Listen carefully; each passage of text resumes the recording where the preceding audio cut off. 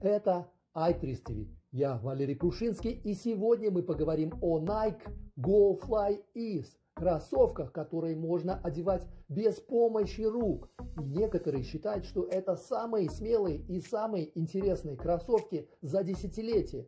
Но как изобретатели решили проблему завязывания шнурков? Узнаем из их патентных заявок. Все началось 8 лет назад когда один подросток написал письмо в компанию Nike, что он собирается в колледж, и его мечта, мечта человека с врожденным церебральным параличом, самостоятельно одевать и завязывать кроссовки. Команда изобретателей принялась за решение этой проблемы, и после серии прототипов и решения множества проблем они предложили отличные кроссовки для всех нас, которые можно одевать без помощи рук. Как вы видите на этой иллюстрации из патента, изобретатели предложили разрезать кроссовки. Зачем же они это сделали? Посмотрите, если задняя часть обуви будет откидываться вниз, то в нее можно будет легко ставить ногу. Но это только первый шаг. Как потом вернуть эту пятку назад и как ходить в такой обуви.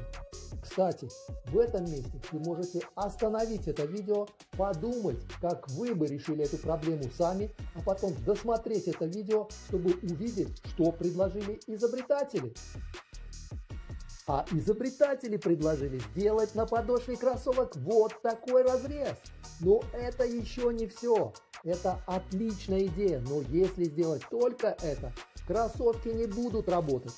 Теперь, если над этим разрезом сделать еще один разрез в форме буквы Y, то он позволит задней части обуви со всей пяткой откидываться вниз и вставлять в нее ногу. Но как потом вернуть подошву кроссовок в распрямленное состояние, чтобы нормально ходить? А на следующем рисунке видно, что это как бы разрезанная или откидная задняя часть обуви соединена с передней частью специальным упругим элементом, вот такой широкой эластичной лентой. И именно эта лента и возвращает откидную часть на место после одевания кроссовок и позволяет хозяину нормально ходить в этой обуви. Изобретатели назвали один из своих патентов шарнирная конструкция подошвы для входа стопы. Когда работаешь над изобретением, часто бывает, что конструкция уже динамична, как в нашем случае, когда, казалось бы, подошва обуви уже гибкая. И зачем тогда вводить еще один шарнир? Заметим, что введение этого дополнительного шарнира обычно позволяет выполнить еще одну функцию, как в нашем изобретении. Гибкая подошва позволяет ходить в обувь, а еще один вырез шарнир позволяет задней части с пяткой откидываться при одевании обуви, а потом еще один гибкий элемент возвращает задник на место.